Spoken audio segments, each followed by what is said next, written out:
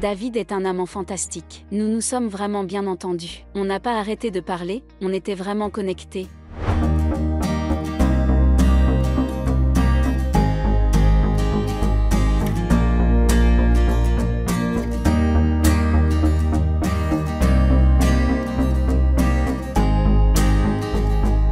Je crois que je n'ai jamais été aussi malheureuse de toute ma vie. C'était très dur, comme si le monde entier était contre nous, et s'était tendu entre nous deux. Pour être honnête, je ne peux pas expliquer combien c'était difficile, cela m'a fait beaucoup de mal.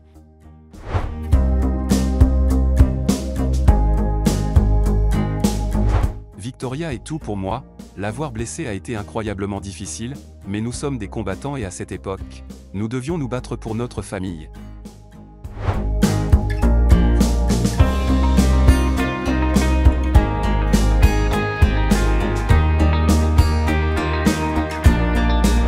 Il peut bien sûr dire ce qu'il veut et je comprends qu'il doit entretenir une image, mais il agit désormais comme s'il était lui-même victime de cette situation. Et il me décrit comme une menteuse, comme si j'avais inventé ces histoires.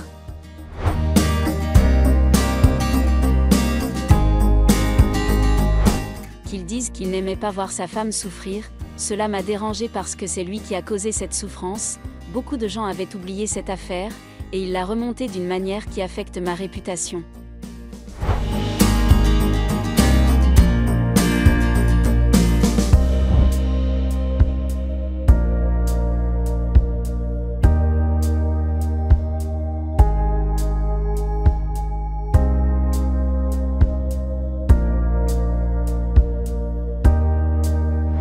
Je suis rentrée dans la maison, j'ai monté les escaliers et j'ai vu les deux gardes du corps de David devant une porte.